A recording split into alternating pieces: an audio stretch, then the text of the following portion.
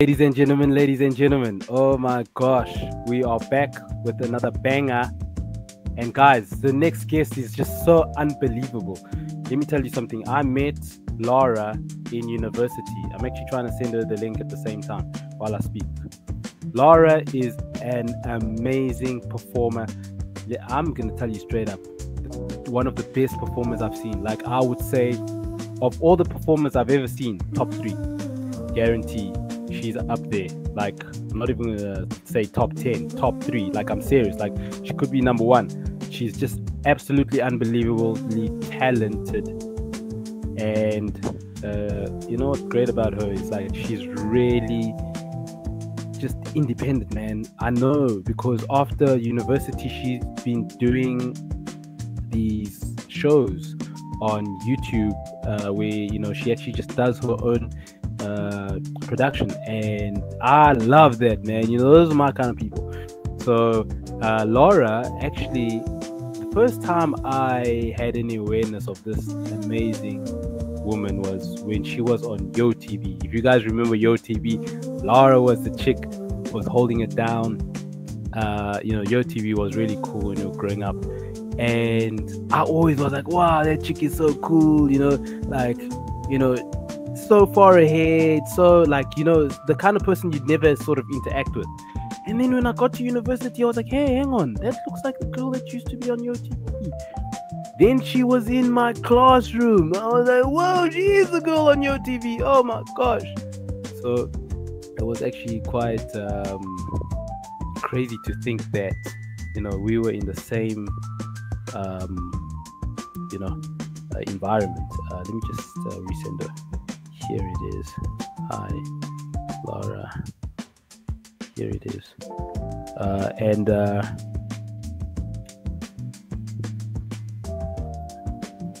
uh, you know, oh, I failed. Why? Um, and so you know, uh, having her in the same uh, like classrooms was like I can't believe it, man. This is just so unbelievable because like she was like years ahead of the game, like for real. And um, you know, we're gonna learn about you know what it is she's been up to because after university, I actually saw on TV. She started smashing. She just continued to smash. She was doing these adverts, and you know she's she she's just so talented, guys. Like she can smash comedy. She can smash like the deep drama. She can you know hit Shakespeare if she wants to. She's called to.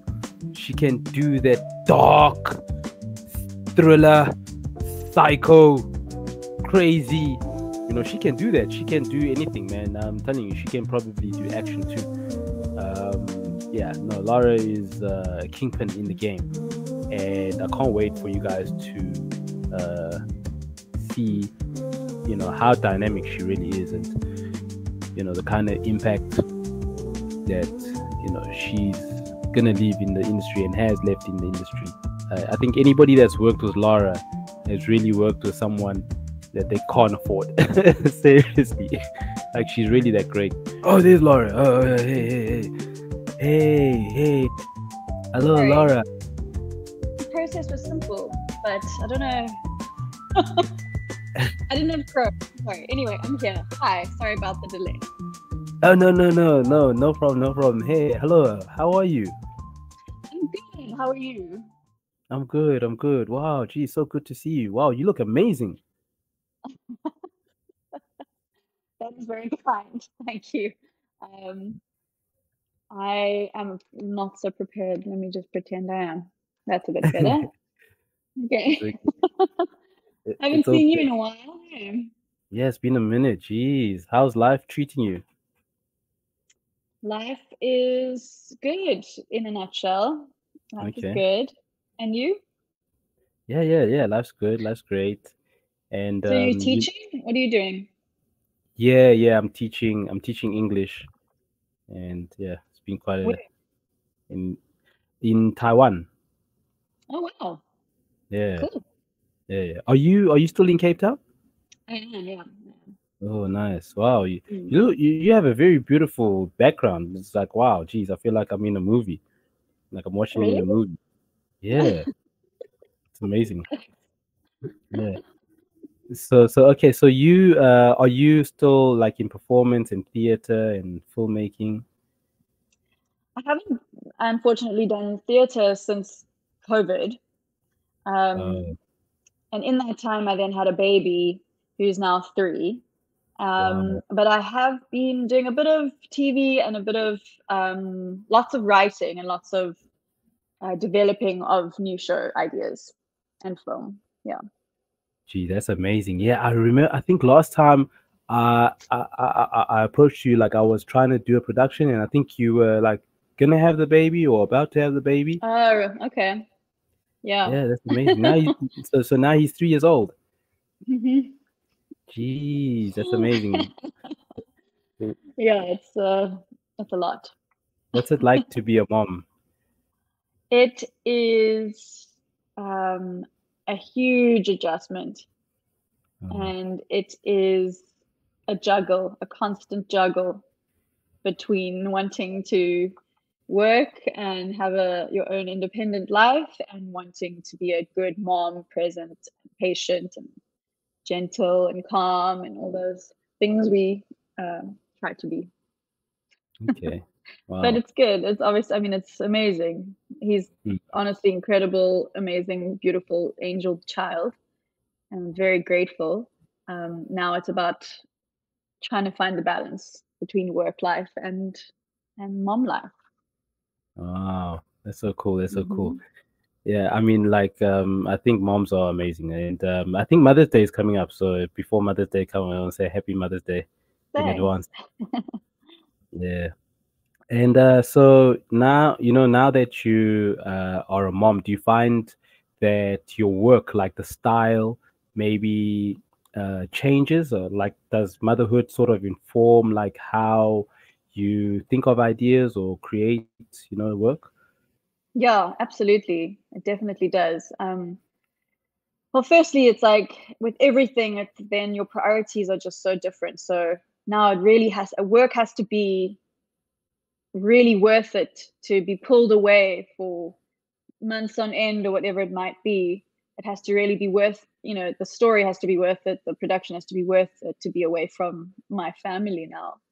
Um, and then in terms of actually creating, I have a whole new insight into into a whole new kind of headspace and genre of human, you know, like motherhood and and giving birth and and and this like it's a huge expansive experience. And so i definitely have a lot more to draw from. Um and then just like my own emotional capacity has just been stretched you know as as it happens when you become a parent i think. So um it's definitely informing my writing and and just the choices i make in general every yeah it informs everything it really does it's quite incredible Wow, okay. That's I mean, I would think so. I would think so. Like, um, what is uh, the sort of first sort of uh, work you started maybe writing or producing, like, you know, once you became a mother? Or are you still in the process of producing something since yeah I'm, I'm still in the process but I, I wrote like one of the first things i i wrote uh i need to actually pick it back up. It's a it's a show idea about about postpartum basically postpartum anxiety and depression. Um and kind of that that transition between being just a woman and be, then becoming a mother and how it's like this limbo period that you have to like go through this tunnel in order to kind of come out the other side. Um, and so that's a show that i'm writing. And then i Mm. also wrote a short film for a competition that unfortunately never came to fruition but maybe one day i can still make it. Um, about it was like a science fiction kind of a movie about the actual act of giving birth and how a Wow. woman is like a portal between two worlds. Wow. Wow, that's really deep. It is, it is deep. It is deep, yeah. So and how that yeah like literally we, can, we we all of us get here through this portal you know it's like this bizarre thought but it's a fact. We like it's amazing. A woman is a portal between the mystery where we all come from and this place you know? So i think that's just a fascinating thing to explore that i hope to still be able to do. Yeah. Yeah that sounds really cool.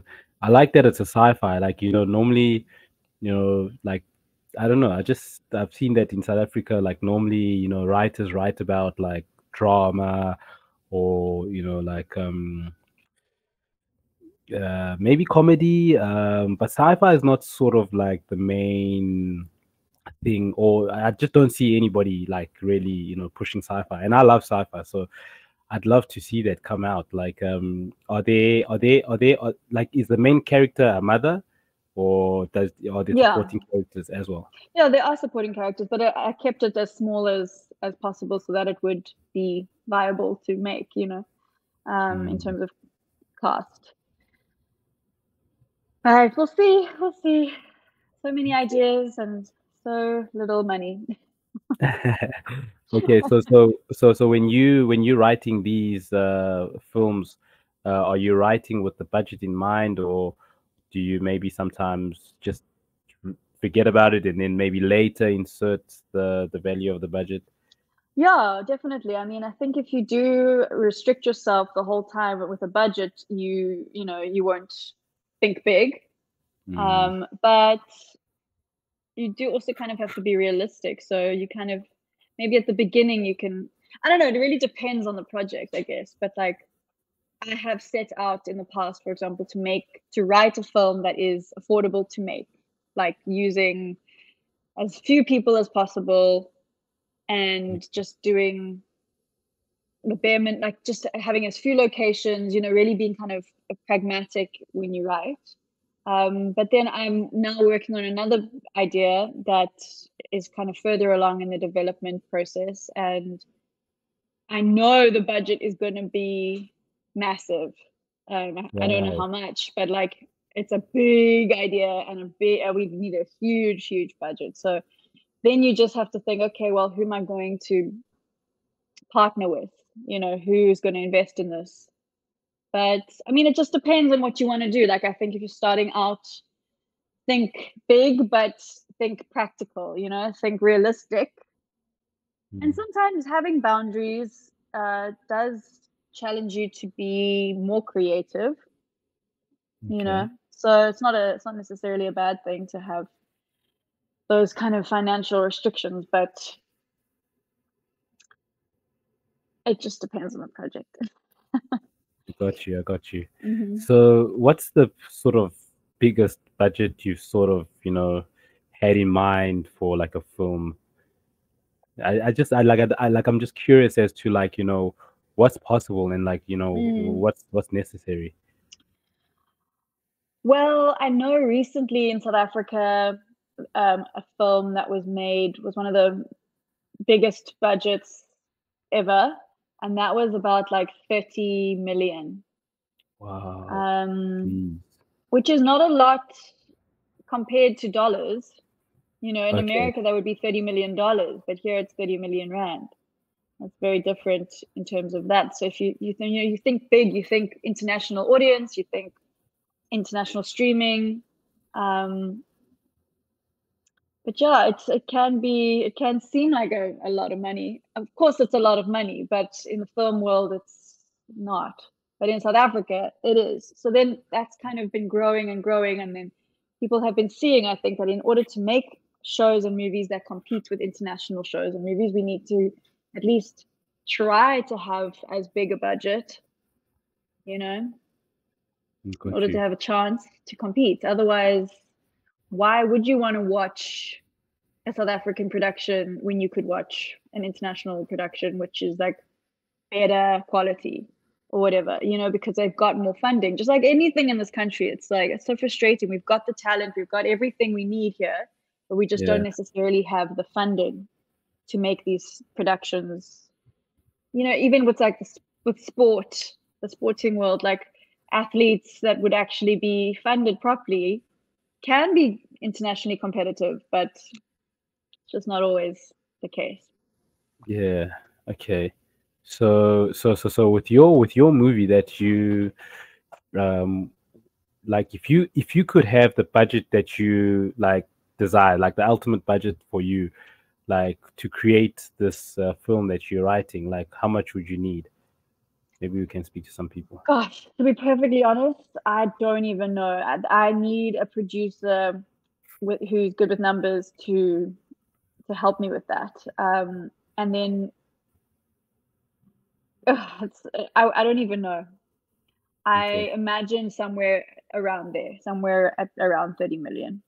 Around 30 million okay and then some, and then some coins lying around yeah i think uh, i'll speak to some people see if they've got bitcoin or something um yeah okay 30 million okay so I honestly um don't know though. I'd have to, you know, I'm still in the process of like pitching and then I'm going to be writing and then I'm going to know more. Okay, each episode will cost this much, you know. So that's just a thumb suck number for now, but oh it would be big. It would be big. I'm not sure. no i think if anybody deserves to make a film that is big it's definitely you like i've seen you like your work ethic in university like sometimes i just you know i was like oh my gosh this this woman's so amazing like you know you you were smashing everybody like you're extremely competitive and it was always Am I? Really? absolutely I, I feel like I'm not, but maybe it's interesting hearing it from the outside perspective.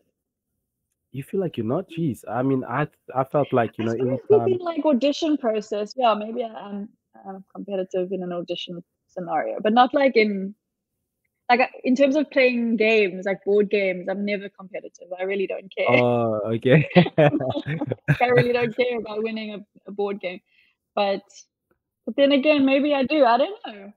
No, like for me, I mean, I've never played board games with you, but like, um, you know, when I was um, maybe, um, maybe we had a project to do, whether it was for movement.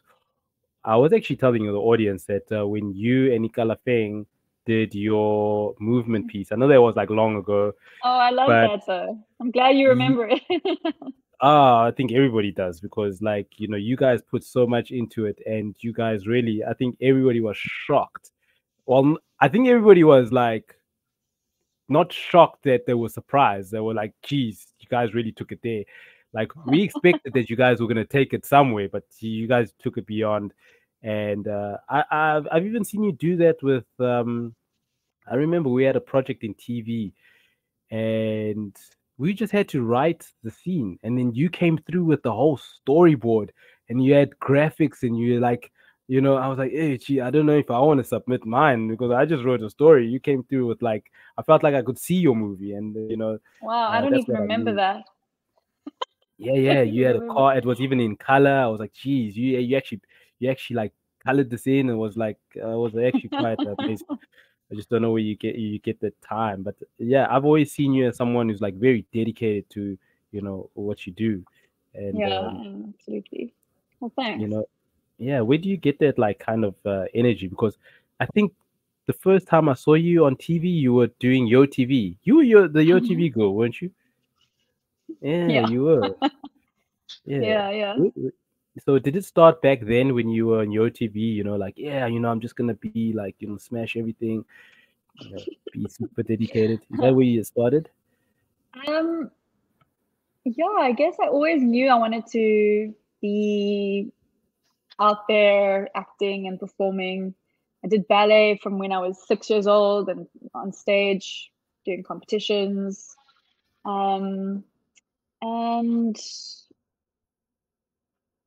yeah, I guess I've always just been quite um, dedicated and committed and quite like clear in what I what I want, knowing what I want.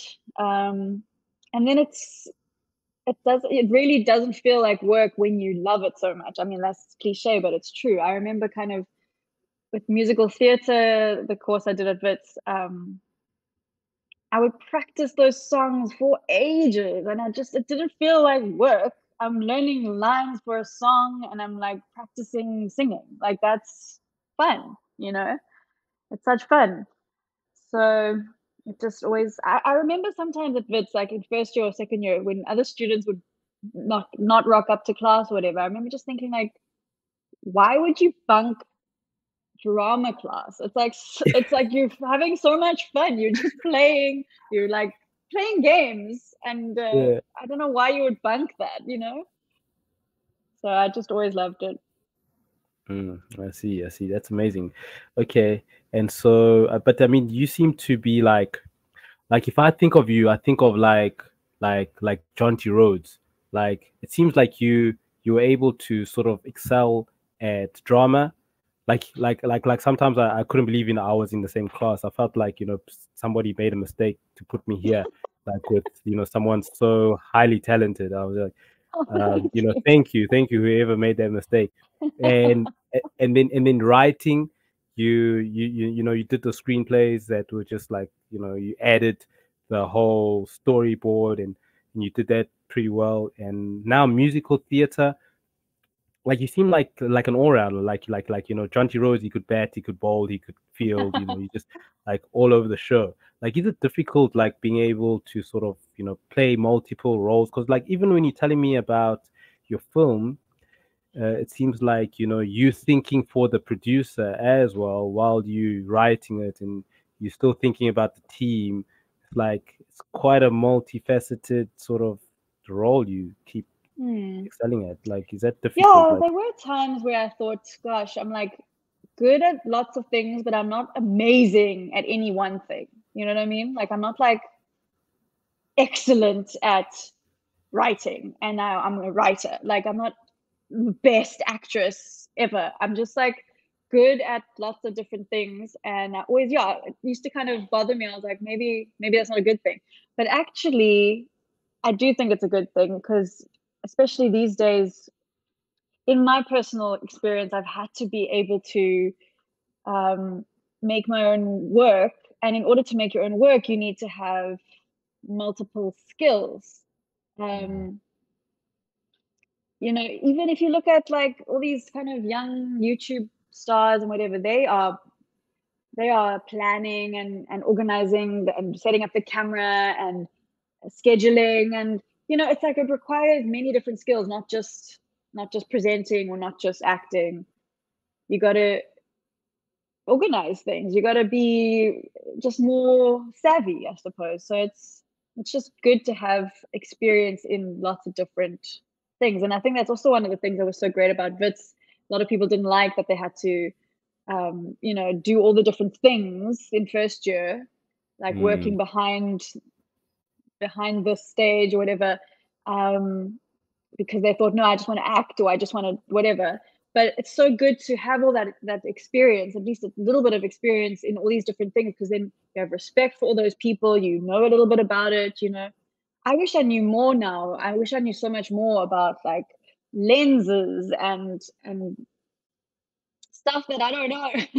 Mm. you know i wish i knew more about the business side of it. I wish i knew more about how to like write up a the production budget because now I do, I need to call on other people. But at the end of the day, a film or a show, a play, all of it is not just one person. So even if I am uh, capable of doing multiple things, I still can't do everything. And you still need a team to help to make it happen.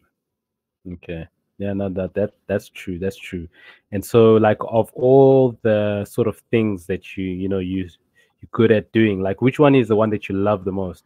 Because I thought I thought I thought you were a smashing performer. Like you, every time you you touch the stage, like oh my, everybody paid attention. Like no one was gonna be like, ah, you know, let me yawn now. Let me take a break. like everyone was ready. Like oh shit, Lara's on. Okay, let's, let's, let's, let's, let's, let's, let's get ready. Gosh, um, yeah, I do. I really love acting. I really, really, really love it. But unfortunately, sometimes it feels like it's just not.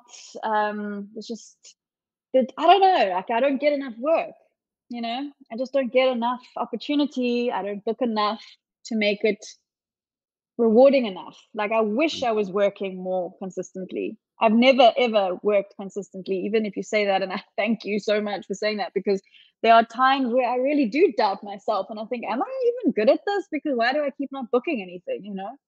And that's what led me to make my own show, Chin Up, and that's what really drives me to make my own work because I'm just like, I feel like that's the only way to actually have longevity in this industry is to just make your own work and make your own opportunities.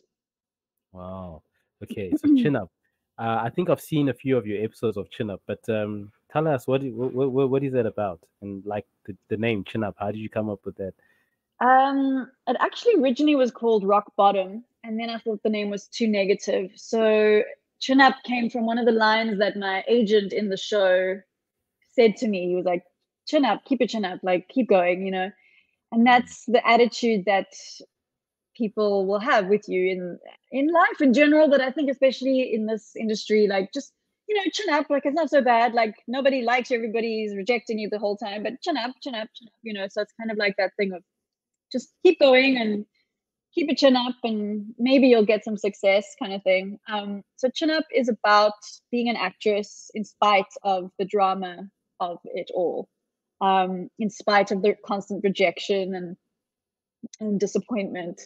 Um, and it's based on my real life experiences of being an actress. And I wrote, produced, directed three seasons and um, managed to get it on Showmax in 20.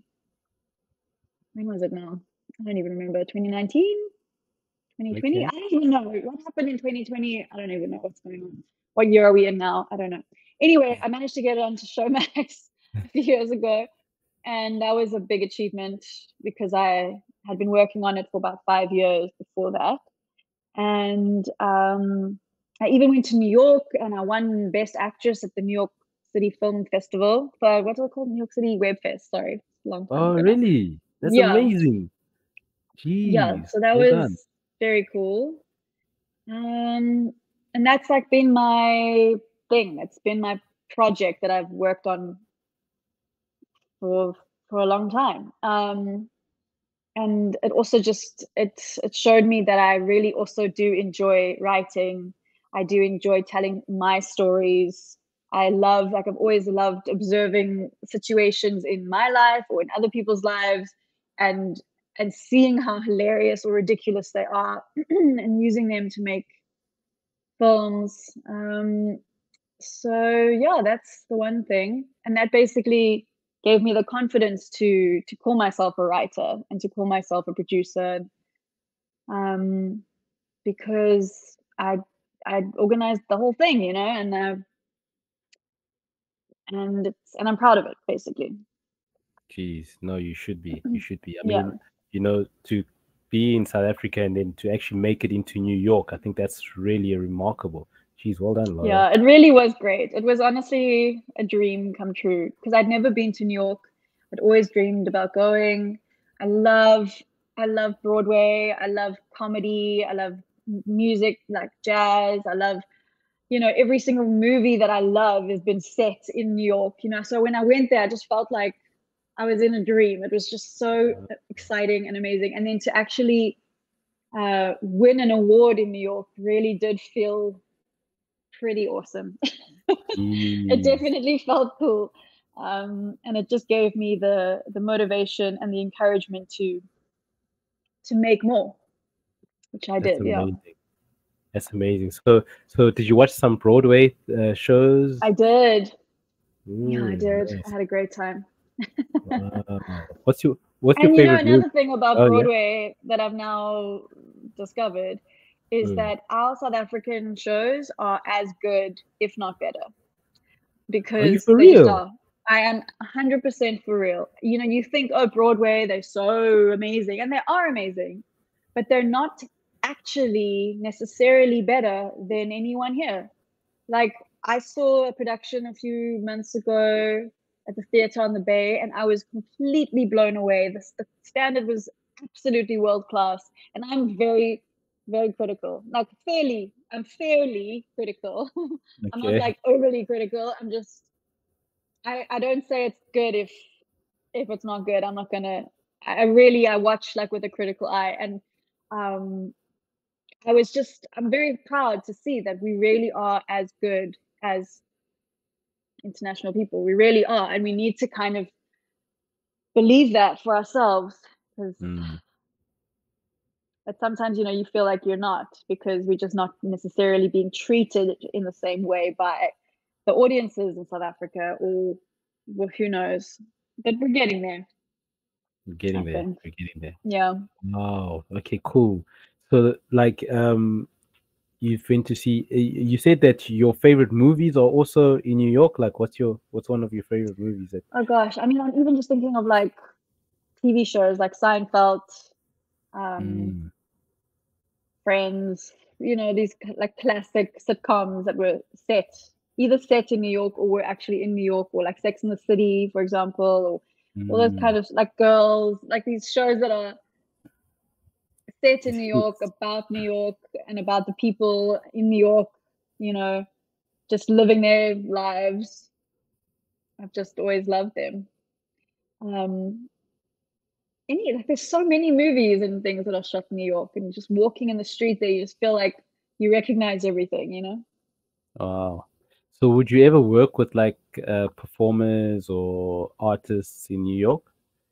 I'd love to, yeah, love to. Yeah, I think, I think, I think, I think they'd love to. I think, I think if people like more and more people knew you, like they'd be like, "Why are we not working with this amazing woman?" Like seriously, I think more and more people just need to know like who you are and what you do, and then it's like it's a wrap. Because like I, I think wish, yeah, I wish. ignorance. I think Yeah, it's I mean that's the thing. There's only so much self promotion you can do.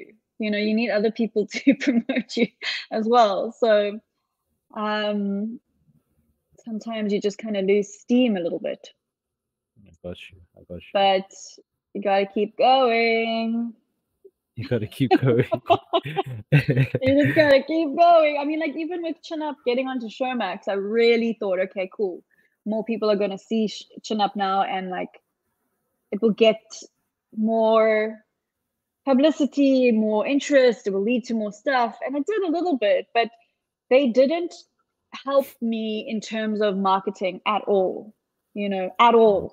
And if they had even just a little bit, I really think it would have it would have just gained more traction because that's Okay. all that most of the stuff kind of comes down to is marketing that's like what i've realized as well marketing marketing marketing and that's the thing like for any production you do you also have to then have a marketing budget because mm. otherwise you make a thing and it may be very very good but if you can't tell people about it a lot of people about it then no one's going to see it or not enough people and then it, it won't like be a success because it hasn't been seen by enough people yeah. but that's all just marketing. If you think about anything, like why do you want to watch a movie? It's because you've seen stuff about it on online and on posters and on interviews, and you like you see it all the time. It's just like telling you go go watch this thing, and then you watch it. Otherwise, Mm. you won't. You won't know about it. Yeah, that's so So- true. Marketing needs its own budget. It. Okay, so so so so, with Chin Up, like, um, are you still producing uh, more seasons? Are we on season four, season five? Where are we? Yeah, I could, I could in theory, but I kind of felt like that was done. Like that, I have other characters and stories to Oh, okay. tell now. Like I could always revisit it, um, but I just kind of didn't feel inclined. I just felt like I want to do other things now. I want to tell other stories, but I could always come back to it if there was an interest, if there was a budget, if there was someone that's like, "Hey, I want to buy a show. Let's make another four seasons." I'd be like, "Absolutely," you know. See. But I kind Yeah. of wanted to try another another thing. And what about uh, so Showmax is still like the television based, if I'm correct. Just correct me if I'm wrong. Yeah, it's a streaming service like Netflix, uh, but Oh, it's not as big. It's in South Africa and Africa and um, parts of the world, like some in Asia. I'm not sure exactly of all the regions, but it's it is not just Africa. Oh, okay. Wow. But Yeah, I don't think it's cool. America. I don't think it's America at all. Okay. And um, what about like, is it possible to sort of produce like online sort of, um, or is producing online does that feel like you know that's a step below sort of you know the television formats and the Showmax, uh, Netflix formats? I don't know. How do how, how do you feel as an artist about that? Chin Up is a web series. It actually is a short little. It's a web series that then got on onto Showmax. Um, I don't see anything wrong with doing with doing like web series or or films for just online, especially because so many people don't even watch TV anymore. Like we're all watching things on our phones and our computers. Um, even like TV, we're watching on our laptops or whatever. Um, so I don't see that as a step back. As long as, again, like as long as it's just got the budget for marketing and the budget for a good production, uh, then absolutely. Okay. And like, you know, throughout your career, what's been sort of like for you the best project that you've ever worked on where you're like, oh man, you know, that project was so amazing. you know, whether it was like your own project or a project that was, you know, someone else's project. Um gosh, I really have loved all the things I've worked on and they've all been amazing. But I suppose like when I did Emotional Creature, it was a play uh, we did it at the Baxter Theatre in Cape Town, and we did it at the UJ Theatre in Joburg. And we were supposed to go other places, but anyway, um, it was an incredible, incredible production because it was Eve Ensler who wrote the Vagina Monologues, and she's like this incredible activist, feminist, amazing person, and she wrote Emotional Creature, and um, it was just like monologues from different girls around the world sharing their stories of kind of growing up and each one very very different. And um and it was just so so well received. It was unbelievable. I mean because eve ensler is who she is she's like friends with these huge sensational stars like charlize theron. We had charlize theron and sean penn were in the audience the one night. Whoa, um, yeah, that's crazy they came backstage, and I'm so glad I didn't know they were in the audience until it was finished because I wouldn't have been able to concentrate. I was like, Jeez. oh, it was insane. So we have a photo with them backstage at the Baxter Theatre. Um, we had all these incredible people come and watch the show. Um, it was honestly insane and amazing. So that was definitely a highlight. And another thing, I mean, I learned about feminism doing that show. Before that, I thought that feminism was like only for like old hippies who didn't want to wear bras and that's obviously not the case at all um, okay. now i know that it just means equal rights ultimately for women mm. and men um, equal pay equal rights respect all that um, but i didn't know that so that was a huge educational experience for me um, and then I loved working on Tali's Wedding Diary, which is a comedy on Showmax. And um, there's three seasons of that as well. And that's just a comedy. My favorite thing is comedy. So I love doing comedy. Yeah, you you you you you're pretty good at comedy, that's for sure. I think it's just like natural for you. Okay, wow, that's really really cool. You know, like I have a lot of students and they're curious about, you know, just like they're curious about more than school. Like sometimes they feel like you know school's like yeah, and then they you know they want to mm-hmm. know about the real world and and so they're curious. Some of them are curious about the world of being a performer. And so you know I always ask myself, when's a good time for um, you know someone who's young who maybe wants to do what exactly what you're doing like do they first need to you know reach a certain age do they need to attend university um, before they can start making work because like i feel like you've been making work and you know you're not waiting for opportunity. You, you you're just going like when can someone who's maybe a teenager or pre-teenager when can they start doing that? Or do they have to first grow up?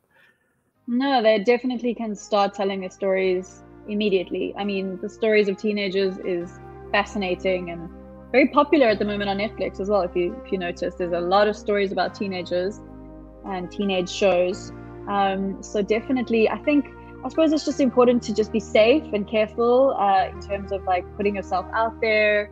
you know you need to just maybe have some adult supervision um, but definitely start writing your stories use your phone to film them start practicing because as as you do it you learn and you you find out what you need and what you need to know and then you learn more and then that's the best way to do it. It's really the the best best way. Better than going to school better than university um, or even to you know intern or, or job shadow or just kind of get a job as an assistant or just to be on set and really get a feel for it or to work in the writer's room or there's so much you can do while you're still at school. Um, and there's so many courses online that you can take. There's so much information on youtube. There's so much information. So i really do not think you need to go to university to do it um, but I loved it. I loved studying it. Um, but you don't need it. You don't. You just need to be, I suppose, persistent and brave and ready to kind of expose your vulnerable side and, and share your truth and your stories with people. And, and that's it, I guess. Easier said than done. Mm, mm. No, but really, the best thing to do is to just start. Just start using your phone. Shoot a little thing on your phone. If it's rubbish, don't share it. If it's cool, share it. You know, no pressure. I like I like that that's practical. I think that's something that you know can like young kids can start doing uh, immediately. Um, and so Mm. like you know you you you're obviously in the process of making more work, and I'm just curious, like you know, for people that want to sort of follow you, see some of the work that you've done, like uh, do you have like some um, website or some sites or some Mhm, mhm. pages that they can view? So you can watch Chin Up. All three seasons are on my website and YouTube. Now, my website is www.chinup.co.za. Um, and you can find Chin Up on Instagram. It's Chin Up Daily, Chin underscore up underscore daily. And me, my personal account is Lara Toselli on Instagram. And um, IMDb, and where else would you find me? That's probably probably good. Okay. Awesome, awesome. Yo, Lara, you know, I, I just want to say thank you so much for agreeing to be on the show and thank you for coming through. You really uh, are a blessing and uh, I really Thanks, appreciate your time. It's a pleasure. It was great to chat to you and reminisce about bits. I'm Yeah, I yeah. remembered. Oh, absolutely. I don't think anybody's gonna forget you. I think people are Oh, still thinking about you like today. Seriously. Uh, you you really made an impact on me. I was like, you know, I'm still like like every time you came to class, I was like so nervous. I'm like, oh geez, no, now I need to, you know, up my game here. I need to try and do something. I don't know. You're always that kind of uh, individual that just, you know, it was cool because like even though you were like, you know, super excellent, you were still approachable. Like normally people who were like that, it's like, hey, I'm the queen, you know, bow down, kiss the ring. But you didn't have that uh, energy, you know, so that was cool. Yeah, that was really cool. I think people like that get uh, knocked down at some point, one way or another. You can't be like that in this world, not for long. That's true. That's true. Lara, thank you so much. As a mom, I really want to say thank you, you know, uh, for Thank you for having me. It's a pleasure Yeah. talking to you. Yeah, I, I look forward to seeing you smash three hundred million dollar Oh gosh, thank you. yeah, no, no, you deserve it. You definitely deserve it. Thank you. I'm looking forward, Lara. Cool, Chris. Good. Have a good Enjoy day. the rest of the day. Thank you. You too. All right. Bye bye. Bye. Oh, let me compose myself, guys. That was Lara. I told you. I told you that we got the best of the best. Oh my gosh. I can now breathe. I can now rest. I can relax. Well, I can't. I need to go to work. But oh my god, guys, I can't believe we had Lara on the show. Yo! You guys don't understand. This woman is on another level. Like, oh my gosh. I can't believe we had Lara on the show. Thank you, Jesus. I'm a believer. Guys, I'm telling you, all things are possible. All things are possible. Uh, you you're gonna see Lara. Um, this uh, award, uh, you know, that she's received in New York. That's just the I'm telling you guys, like when when when when when when when, when you go and watch the the you know the, the, shows that she's given us you're gonna see for yourself uh this lady's on another level guys. So guys go check out lara check out her shows. Um, you know if you know some directors some serious directors some serious producers some serious performers definitely get them to network with lara because she's the one. I'm telling you guys she is the one. She's gonna break free. She's gonna set you free from the matrix. So uh thank you so much lara i really appreciate it. And guys enjoy the rest of your day. Hey i gotta go work. Damn